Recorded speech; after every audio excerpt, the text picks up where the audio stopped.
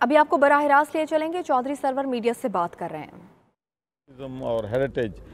Committee کا سربراہ بنایا ہے، جس میں چار ہمارے فیڈرل گورنمنٹ کے کیبنٹ منسٹر ہیں، تین ہمارے پروونشل منسٹر ہیں اور اس میں ایویکیو ٹرسٹ، اس میں اوقاف اور اس میں ہمارے تمام کیبنٹ منسٹر ہیں، تین ہمارے پروونشل منسٹر ہیں اور اس میں ایویکیو ٹرسٹ، اس میں اوقاف اور اس میں ہمارے تمام دوسرے جو ڈپارٹمنٹس ہیں، ان کے نمائندے شامل ہیں۔ اور مجھے یقین ہے کہ آپ دیکھیں گے کہ انشاءاللہ سکھ کمیونٹی کے لیے، اس کے بعد کرسچین ٹورزم ہے ہندو ٹورزم ہے، اس کے بعد اسلامک ہیریٹیج ہے۔ دیکھیں، جس طریقے سے ہمارے لوگ اجمیر شریف جاتے ہیں، دنیا کے دوسرے ملک جاتے ہیں، تو تمام دنیا کے جو مسلمان ہیں، یہاں داتا گنج بخش، یہاں پہ بابا فرید شکر گنج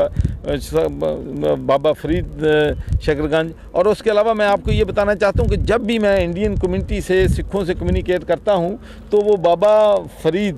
اور میاں میر کا نام جو ہے وہ لیتے ہیں بہت احترام سے لیتے ہیں اور ان جگہ کو وہ ان کو بھی وزٹ کرنا چاہیں گے۔ تو ہم اسلامک ہیریٹیج جو ہے ہماری شرائنز ہیں ان کو بھی بھی پروموٹ کریں گے۔ اور اس کے علاوہ ایک بہت بڑا پوٹینشل ٹیکسلا میں ہمارے پاس بودا ٹورزم ہے۔ تو مجھے یقین ہے کہ ہم انشاءاللہ اگلے تین سے پانچ سالوں میں پاکستان میں چار پانچ بلین ٹورزم انڈسٹری جو ہے وہ لے کے آئیں گے۔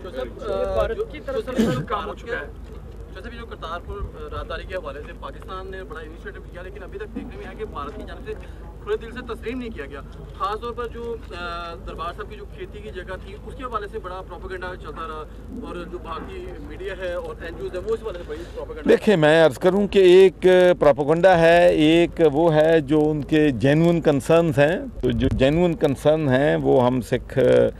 بھائیوں کے وہ جو ہیں، ان کو ایڈریس کریں گے اور کھیتی باڑی کے حوالے سے بالکل ہم زمین جو ہے، اس کو رکھ رہے ہیں، جس میں آرگینک کھیتی باڑی جو ہے وہ ہوگی اور وہ سکھ برادری جو چاہے گی، ان کی توقعات کے مطابق ہوگی۔ تو جہاں تک کرتارپور کوریڈر کے بارے میں تعلق ہے، میں سمجھتا ہوں کہ اب پروگرس ہوئی ہے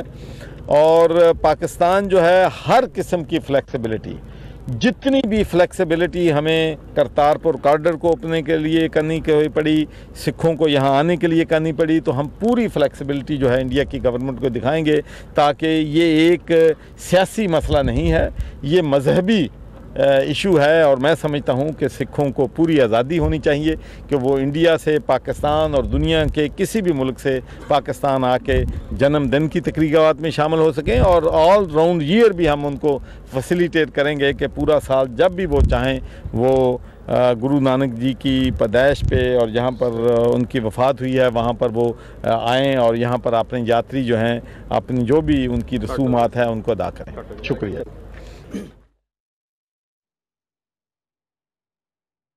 آپ دیکھ رہے تھے کرتارپور پر گورنر پنجاب چودھری محمد سرور میڈیا سے گفتگو کر رہے تھے اور ان کا یہ کہنا تھا کہ بھارت سمیت تمام ممالک کے ساتھ اچھے تعلقات کے خواہاں ہیں۔